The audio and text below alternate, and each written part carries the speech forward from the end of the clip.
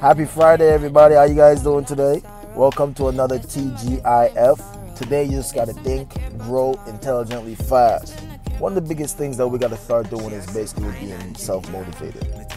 We aim to always motivate others, but we gotta gotta motivate ourselves. Do things for ourselves, have our own goals, our own intentions, and definitely want to make something happen.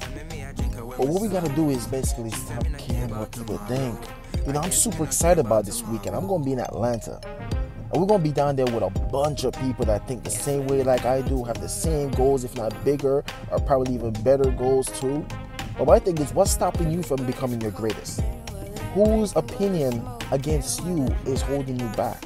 Why do you care so much? Because I'm going down here with a whole bunch of giants. We're gonna be at the convention center, living it up, talking about great ways how we can help families, sharing ideas of how we're gonna make America great, sharing stories about why we need to keep doing what we do.